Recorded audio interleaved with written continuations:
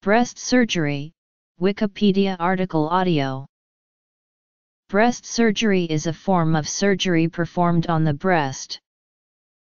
Types include Types Complications After surgical intervention to the breast, complications may arise related to wound healing. As in other types of surgery, hematoma, seroma, or incision site breakdown may occur.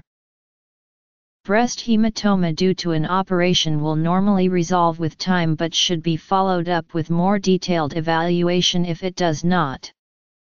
Breast abscess can occur as post-surgical complication, for example after cancer treatment or reduction mammoplasty.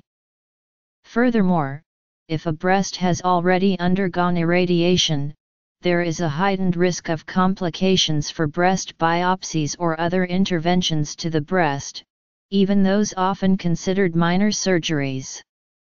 The combined effects of radiation and breast cancer surgery can in particular lead to complications such as breast fibrosis, secondary lymphedema, breast asymmetry, and chronic-recurrent breast cellulitis, each of these having long-term effects. Ultrasound can be used to distinguish between seroma, hematoma, and edema in the breast. Further possible complications are fat necrosis and scar retraction.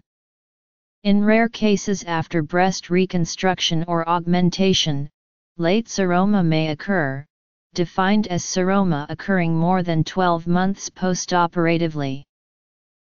There is preliminary evidence suggesting that negative pressure wound therapy may be useful in healing complicated breast wounds resulting from surgery.